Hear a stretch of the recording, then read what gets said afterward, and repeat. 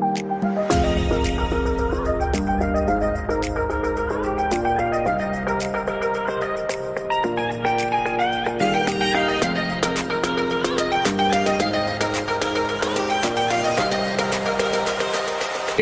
उसके पहले एक बहुत ही महत्वपूर्ण जानकारी आजकल सिक्के बिछवाने के लिए फॉर्म चार्जेस बैंक चार्जेस अथवा रजिस्ट्रेशन शुल्क के नाम पर ठगी की जा रही है आप सावधान रहें हमेशा याद रखें सिक्के बेचने के लिए पैसे नहीं देना है और पूरी दुनिया में एक भी original old price buyer company नहीं है सिक्के बिकवाने के नाम पर राजधानी द करेंसी पीडिया अथवा द करेंसी पीडिया के एम्प्लाई के नाम से कोई भी पैसों की डिमांड करता है तब आप तुरंत समझ जाइए कि वह फ्रॉड है सही सटीक और अधिक जानकारी के लिए आप द करेंसी पीडिया के सभी वीडियो देखें आइए शुरू करते हैं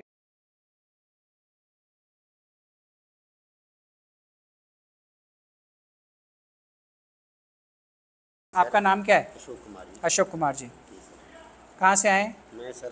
पंजाब से आया हूँ हम्म। बलाचौर से जी तो थोड़ी बहुत कलेक्शन की है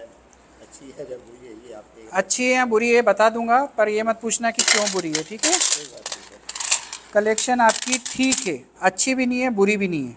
ठीक है इसमें हर सन का एक ही सिक्का रखो बाकी खर्च कर दो ठीक है और इसमें यहाँ पे गवर्नर की सिग्नेचर होती है हर गवर्नर का एक नोट रखो बाकी खर्च कर दो ठीक है ये बीस का नोट क्यों रखा है आपने ये सात सौ छियासी का नोट नहीं बिकता है ये सात सौ छियासी के नोट जिसमें लास्ट में सेवन एट सिक्स लिखा होता है ये नहीं बिकता है ठीक है बताइए क्या नाम आपका संजीव क्या चाहते हैं मेरे से सर थोड़ी सी उम्मीद लेके आया हूँ पुराने कलेक्शन कर रखे हैं हाँ, बचपन हाँ, से हाँ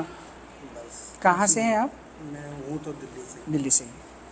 बचपन से कलेक्शन कर रहे हैं आप वीडियो देखते हैं मेरे जी कितने वीडियो देख लिए वीडियो तो मैंने आपकी बहुत देखी बिना नंबर वाले की नंबर वाले नंबर वाले भी बिना नंबर वाले नंबर वाले देखना बंद कर दीजिए अभी जो आपकी कुछ कल या परसों में वीडियो आई थी उसमें आपने एक नंबर दिया था वो मैंने सेव करा था उसके बाद भी मैंने नंबर दिया था हाँ, कौन सा नंबर दिया आपने दो नंबर दे रखे फ्रॉड है दोस्तों हमारी जो भी वीडियो आती है लेटेस्ट उस वीडियो को कॉपी करके और उसमें नीचे नंबर दे रहे हैं मैं आपको हज़ारों बार बोल चुका हूँ कि हम नंबर नहीं देते हैं तो जो भी नंबर आपके पास हैं वो सारे फ्रॉड राजज्ञानी के नाम से सेव कर लें राजज्ञानी का नंबर आपके पास नहीं है ये मैं दावे के साथ कह रहा हूँ सर अच्छा। सर आप कलेक्शन करिए ठीक है कलेक्शन अच्छा है लेकिन यदि आपने किसी से बात करी है कि इसके आपको पंद्रह लाख बीस लाख या पचास लाख मिलेंगे तो वैसा कुछ नहीं है ये सारे कॉमन कॉइन है कलेक्टेबल है कलेक्शन करने के लिए इन्जॉय करने के लिए कलेक्शन करो इंजॉय करो सर चलेगा सब कुछ अगर आपको बेचना है तो सारा माल बिक जाएगा लेकिन जो उसका रेट होगा उस रेट पे बिकेगा ये सौ रुपये का नोट है एक सौ पाँच रुपये में बिकेगा तो ये ट्रैक्टर वाले ट्रैक्टर वाला नोट पाँच रुपये में बिकेगा पाँच रुपये में छः रुपये मिल जाएगा ख़रीदना है तो अभी देता हूँ छः रुपये में मजाक नहीं कर रहा हूँ देऊँ छः रुपये में तो ले लो इससे अच्छा बच्चे खर्च ही कर लेगी दोस्तों मैं आपको सैकड़ों बार बता चुका हूँ नोट पे रबर नहीं लगाना है जैसे ही आपने रबर लगाया नोट ख़राब हो जाएगा ये रबर नहीं लगाना है अभी लगा दूँ कि फेंक दूँ सब कामन है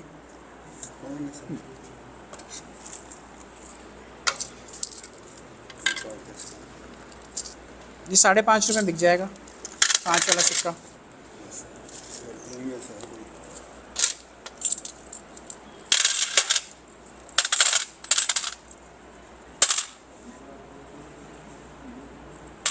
वैष्णो देवी का सिक्का है नहीं बिकेगा दस रुपये वाले पंद्रह लाइन और दस लाइन के ये नहीं बिकेंगे खर्च करना है उनको यहाँ तो कलेक्शन करिए या खर्च करिए बिकेंगे नहीं है ये वाले चार चार रुपये में बिकेंगे दो का सिक्का चार रुपये में बिक रहा है अगर आपके पास सौ सिक्के हैं तो दो सौ रुपये कीमत है चार सौ रुपये मिल रहे हैं बुराई नहीं है इसमें सिक्के आप इकट्ठे कर सकते हो इसमें के सिक्के अभी भी आपको मिलते हैं मार्केट में सब्जी वाला दूध वाला कहीं भी जाते हो आप दो रुपये का सिक्का है आपको दो रुपये में देगा आप पचास सब्जी वालों से दिन भर कलेक्ट करते रहो शाम तक आपने हज़ार दो हज़ार सिक्के इकट्ठे कर लिए आपकी चार आठ हज़ार रुपये की कमाई हो गई करो मना थोड़ी है लेकिन जो ओरिजिनल रेट है वो बताऊँगा मैं दो वाला सिक्का है साढ़े तीन रुपये चार रुपये का रेट है उसमें डेफिनेटिव और कमोमेटिव दोनों मिक्स होंगे तो अगर आप छाँट के ले आओगे सब कुछ तो फिर वो तीन रुपये साढ़े तीन रुपये का एक है जी जी क्या लाए हैं आप जो अपने दिखाए थे उसमें वैष्णो देवी के सिक्के इंदिरा गांधी के सिक्के तो मना करे मैंने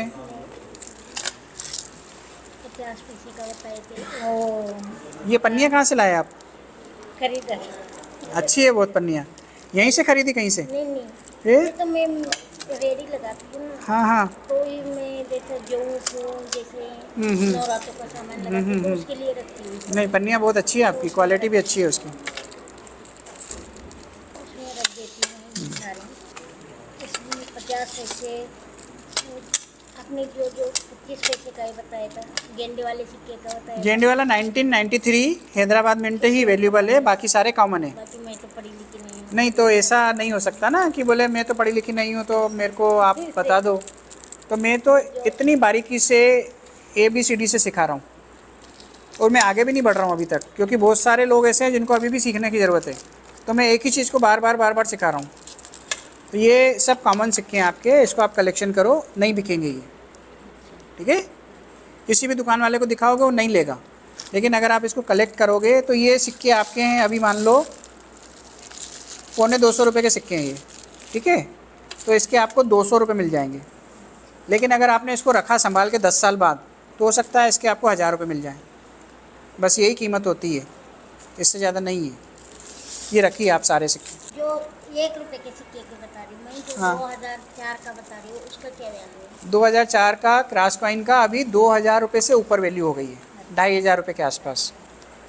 थैंक यू आप जानना चाहते हैं अपने सिक्कों की सही कीमत या फिर बेचना चाहते हैं सीधे मुझसे बात करें फोन पर या फिर video calling talk to राजज्ञानी link पर क्लिक करें और बुक करें अपना कॉल अभी और हाँ फ्रॉड लोगों से सावधान मेरी फोटो या द करेंसी पीडिया से मिलते जुलते नाम वाले फेक चैनल और फेसबुक पेज वालों से सावधान रहें बच कर रहें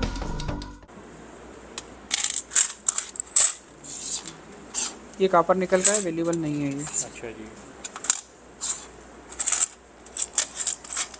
ये चीज़ भी मैं आपको दसियों बार बता चुका हूँ कि हर कॉइन का मेटल अलग अलग होता है कोई सॉफ्ट मेटल होता है कोई हार्ड मेटल होता है कापर निकल एल्यूमिनियम एफ कापर ये सारे मिक्स करके अगर आप एक पोटली में बांध के लाते हो तो एक सिक्के से दूसरे सिक्के को डेंट लगते हैं और उनकी कंडीशन ख़राब हो जाती है वैल्यू डाउन हो जाती है हर एक मेटल का सिक्का अलग अलग ज़रूर होना चाहिए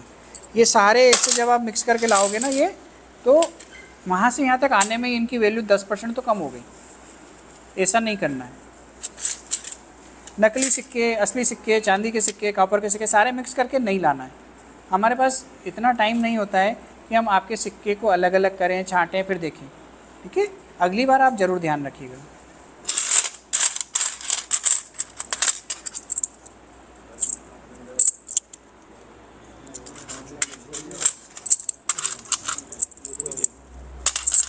क्या करना चाहते हैं सर आप इनको सेल करना चाहते हैं सर तो ये तो बहुत अच्छे सिक्के हैं आपके कहीं पर भी सेल हो जाएंगे आप बैठे क्यों मेरे पास इतनी देर एक दो तीन चार पाँच छः सात आठ नौ दस ग्यारह बारह तेरह चौदह पंद्रह सोलह सत्रह अठारह उन्नीस बीस तो इसके आपको कम से कम चौदह हज़ार रुपये मिलना चाहिए एक ने मेरे को बाहरी काउंटर पे हाँ इसने दो चार काउंट जो सिक्के हैं उसका मेरे को दो हज़ार बताया हाँ कईयों का पंद्रह सौ बताया हाँ किसी का एक हज़ार बताया हाँ ये बताया ठीक है तो मैं बोलते तो रहा हूँ कि कम से कम चौदह हज़ार मिलना चाहिए जो दो हज़ार जिन्होंने बताया वो वो सही बताया ना आप दे दो ना सही बताया दे दीजिए आप क्योंकि ये सारे सिक्के अच्छे हैं आपके हम्म। सारे ओरिजिनल हैं अब इसमें क्या होता है ना कि मिनट वाइज और ईयर वाइज कलेक्शन होता है अब जैसे 1862 का कॉइन अगर इसमें है नाइन बिंदी वाला तो उसका मार्केट में आपको मिलेगा ग्यारह सौ रुपये मैं आपको दूंगा इक्कीस सौ रुपये क्योंकि मेरे कलेक्शन में वो कॉइन की ज़रूरत है उसमें मेरे पास अठारह सौ चालीस के भी हैं अठारह सौ सिक्सटी टू के भी होंगे हाँ अभी हैं और सिक्के सिक्के तो बहुत लेके और अभी हाँ, ये अच्छे सिक्के हैं आपके ये डुप्लीकेट है कभी भी आप किसी के यहाँ जाओ मैं सिर्फ आपको इतना गाइड करूँगा कि आपको किसी को दिखाना है तो सिर्फ ये दिखाओ ये दिखाओ मत ठीक है इस पता नहीं नहीं दिखाना है हमने वृंदावन से लेके आए थे दिखाना नहीं है इसको दिखाना ही नहीं है क्योंकि क्या होता है हम अगर कोई चीज़ करते हैं उसमें चार बातें हमको अच्छी आती है एक खराब आती है हम्म, हम्म। तो हमने चार अच्छी कर दी लेकिन साथ में खराब भी कर दी तो हमारी लेवल ऊपर से नीचे हो जाएगी आप किसी दुकानदार को ये सारे सिक्के दोगे तो वो समझेगा यार ये तो अनाड़ी आदमी है इसको लूट लो हम्म। फिर आपको दो हज़ार रुपये एक सिक्के के नहीं देगा फिर आपको सात सौ रुपये पाँच सौ रुपये एक सिक्के के देगा इसके भी पाँच सौ रुपये देगा ये है ना इसके भी पाँच सौ रुपये देगा इसके भी पाँच सौ रुपये देगा जबकि ये एक रुपये की भी कीमत नहीं रखता है क्यों देगा क्योंकि उसमें दो हज़ार का एक सिक्का है एक सिक्का तो वो कैलकुलेशन करके बोलेगा ये सारे पाँच पाँच सौ में ले लूँगा उधर उसने दो दो हज़ार वाले ले लिए तो ये व्यापार का तरीका है मेरा तरीका है आपको गाइड करना ताकि आप ज़िंदगी भर सही काम कर पाओ मैं रहूँ नहीं रहूँ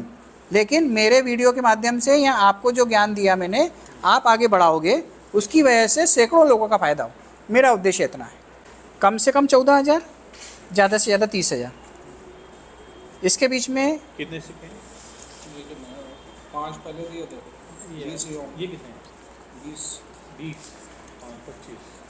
पच्चीस के आप कितना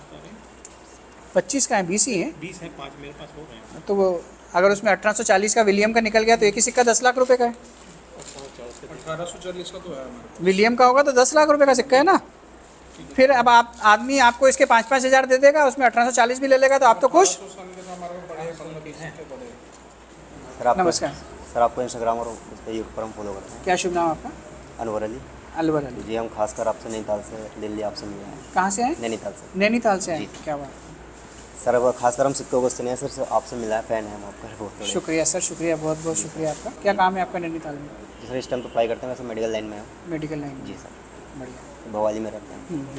तो कुछ कलेक्शन पड़ा था तो हम ले थे बाकी खास हमारा मेन मुद्दा आपसे मिल जाता है बाकी आपको देखकर सर अब कलेक्शन की हम तैयारी करेंगे जी जी अगर आप अगली बार मिलना हुआ तो हम फुल तैयारी के साथ आपको बिल्कुल अच्छी बात है सर ये आपके ओरिजिनल सिक्के हैं जी हाँ बाकी घर में पड़े थे ये नहीं हम्म। पता हमें हम इतना अंदाजा ओरिजिनल सिक्के हैं और कम से कम ये तीन रुपये का आपको तीन हज़ार रुपये मिल सकते हैं जी हाँ और ये तो कलेक्शन है ही सही आपका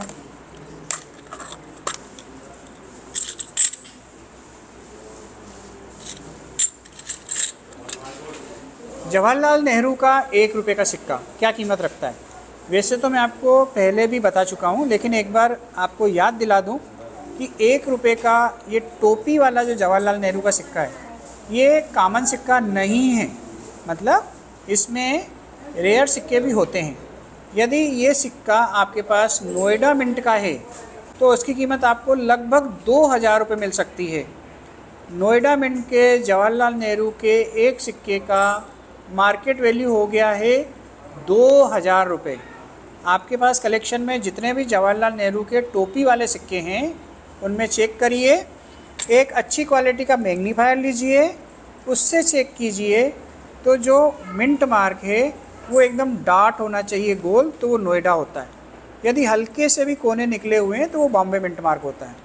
यदि जवाहरलाल नेहरू का नोएडा मिंट मार्क है तो वो वैल्यूबल कॉइन होता है 생겨서 못 살다.